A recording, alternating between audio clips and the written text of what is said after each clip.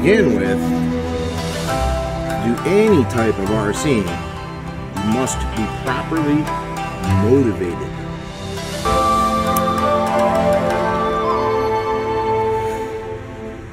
To break stuff.